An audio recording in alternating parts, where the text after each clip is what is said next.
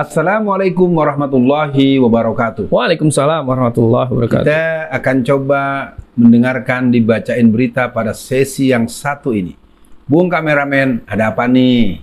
Baik Bung Alfian, ini sebetulnya ya berita sederhana lah Bung Alfian.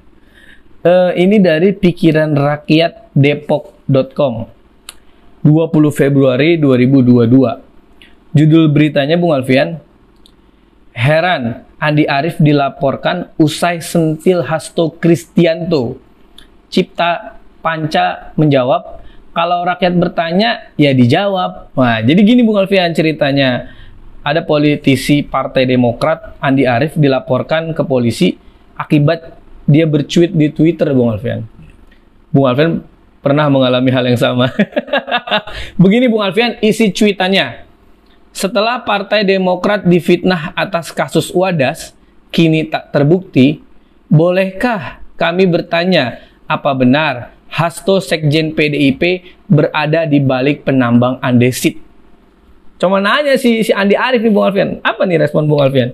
Ya kalau dalam ilmu hukum orang nanya mana nanya dijawab aja. Kalau nggak bisa dijawab ya udah selesai urusan. Masalahnya iya. nanya kok pakai lapor-lapor polisi galak Ya, ya artinya udah kali mas, kalau menurut saya mah ini urusan kita lebih banyak. Kalau memang nggak berbuat ya udah, nggak usah pakai lapor-lapor. Mungkin kayaknya itu soal yang sangat ya sederhana dan kita punya banyak urusan lain. Bagaimana mereka free masyarakat wadas iya. dan terus yuk kita lakukan kerja-kerja yang menunjukkan bahwa kita punya jiwa kenegarawanan. Gitu kali Bang. Iya, Bung Alfian. Yang yang saya aneh tuh kenapa orang bertanya itu malah dilaporin Bung Alfian. Hmm. Padahal kan harusnya kalau dia memang nggak terbukti ya belain dong warga Wadas. Ya Bung ya, Alfian ya. Harusnya dia belain warga Wadas tuh Bung Alfian. Gimana tuh Bung Alfian?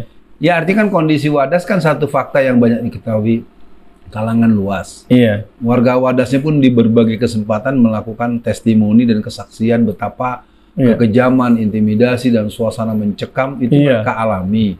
Dan semua orang juga tahu bahwa di daerah tersebut terkandung andesit dengan uh, kualifikasi yang uh, kelas tinggi ya dan bisa bisa mendapatkan keuntungan bahkan tersebutlah angka seribu triliunan lebih. Allah. Nah artinya kalau itu jadi dipertanyakan ya jawabnya ya dijawab nggak bisa dijawab ya berarti nggak usah masa anda nggak bisa jawab sama anak sekolahan ditanya sama gurunya lalu karena nggak bisa jawab, lalu akhirnya dia lapor tuh bu guru ke polisi. Waduh, kasihan kan orang nggak mau jadi orang nggak pengen jadi guru kalau gitu. Iya. Nanya sama muridnya, murid nggak bisa jawab lalu lapor sama sama bapaknya kan itu lebay banget. Saya pikir udah kita urus yang lain.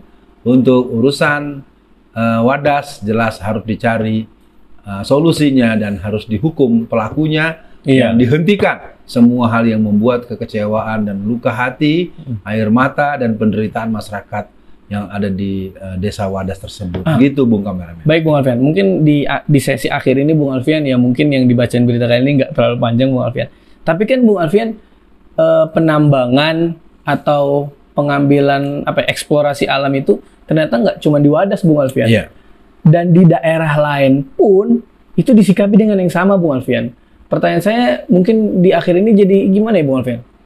Kalau memang itu penambangan atau pengelolaan alat itu untuk kebaikan Bung Alfian, kenapa kok akhirnya warga itu nolak? Saya kok jadi curiga ya Bung Alfian.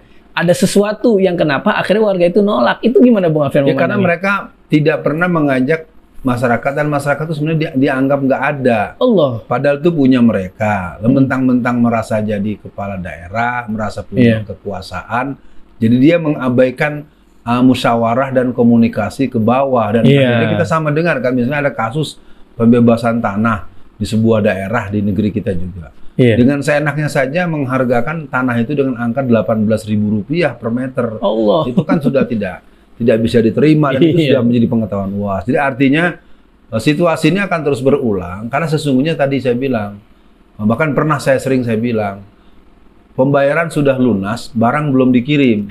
Artinya mereka-mereka yang begitu jadi sangat represif, sangat kejam, sangat sadis, sesungguhnya karena mereka sudah terlanjur eh, menerima menerima sesuatu tanda kutip dan ini sudah jadi pengetahuan umum Allah untuk berbagai Allah. urusan. Jadi untuk seluruh bangsa Indonesia, warga negara Indonesia kita harus semakin menghitung langkah kita bahwa orang yang katanya menjadi pengurus negara ini, orang yang memerintah negara ini, mereka belum tentu menunjukkan kasih sayangnya kepada kita, Allah. maka itu bersiap-siap kemungkinan kita tidak disayang oleh mereka, maka kita akan meminta kasih sayang Allah dan kita harus membangun uh, optimisme dan kerja-kerja yang membuat kita punya kemandirian.